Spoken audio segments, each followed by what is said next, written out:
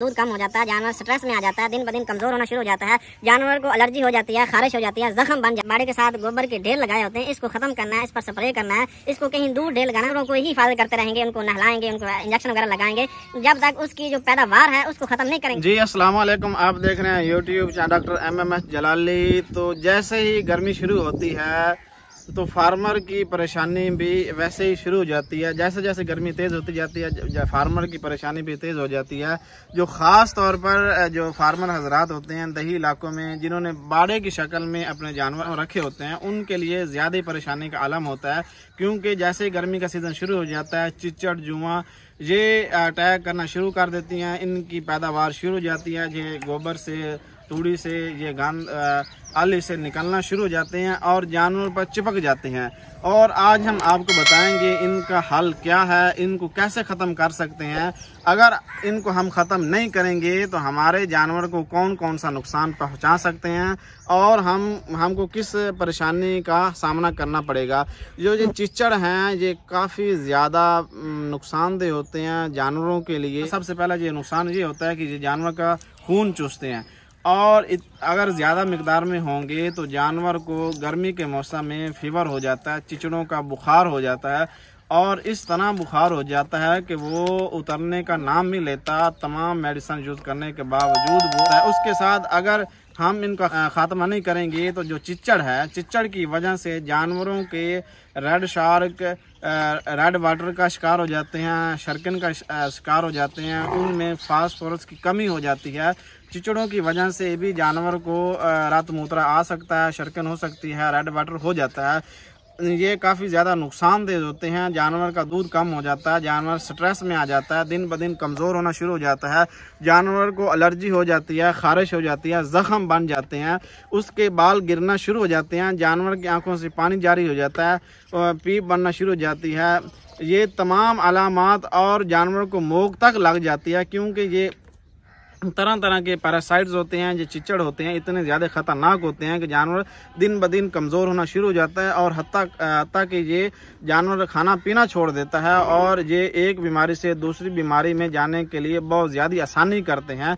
तो आज हम आपको बताएँगे, फार्मर हजरात भी काफ़ी ज़्यादा कोशिश करता है कि मेरे बाड़े में जो चिचड़ वगैरह हैं वो ख़त्म हो जाएँ, लेकिन ऐसी नाहंगियाँ होती हैं, ऐसी गलतियाँ फार्मर करता है, जिसकी वजह से उसके फार्म में से चिच्चड़ वगैरह ख़त्म नहीं होते। वो इंजेक्शन भी लगवाता है स्प्रे भी करता है, लेकिन फिर भी उसके जो बाड़े में चिच्चड़ वगैरह हैं, वो ख़त्म नहीं होता। है लेकिन आज हम आपको बताएँगे एक कि आपने किस तरह अपने बाड़े के जो चिच्चड़ हैं, वो ख़त्म कर सकते हैं। सबसे पहले जो आपके बाड़े के पास जो ये गोबर पड़ा होता है, आली पड़ी हो, जो आपने ढेर लगाया होता है इसमें दिन रात चिचड़ बनना इतने ज़्यादा बनते हैं। अगर ये जानवर खड़े हैं, ये जानवर खड़े हैं और इनके तकरीबन पाँच छः फुट असले पर ये इतना ढेर पड़ा हुआ है गोबर का तो इसमें चिचड़, जुआ, हर चीज़ में बन रही है और ऑलरेडी ये हरकत करके जानवर पर चिपक जाते हैं। अगर ये जानवर खड़े हैं तो आप इसके जिसम पे जो चिचड़ वगैरह हैं, उनको इंजेक्शन लगाएँगे, जानवर को स्प्रे करेंगे तो जानवर के जिसम पर जो मौजूद चिचड़ जुएँ हैं, वो ख़त्म हो जाएँगे। लेकिन अगर आप इसको नहीं छेड़ेंगे, इसको ज़ाया नहीं करेंगे, इस पर स्प्रे नहीं करेंगे, इसको कहीं दूर नहीं ले जाएँगे तो वो चिचड़ वगैरह डेली बेसिस बनते रहेंगे और डेली इधर से चलकर जानों पर चिपक जाएँगे।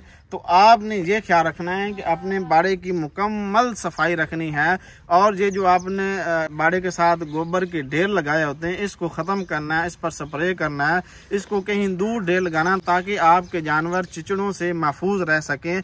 तो आपने सबसे पहले अपने जानवरों को एवरमैक्टन इंजेक्शन लगाना, सब कट, जेर जल्द आपने इंजेक्शन लगाना, इसका बहुत ज़्यादा फ़ायदा है। प्रेगनेंसी में भी लग जाता है जानवर के किसी की उम, आ, किसी उम्र में लग जाता है छोटे जानवर को बड़े जानवर को नार को मादी को तमाम को ये लग जाता है।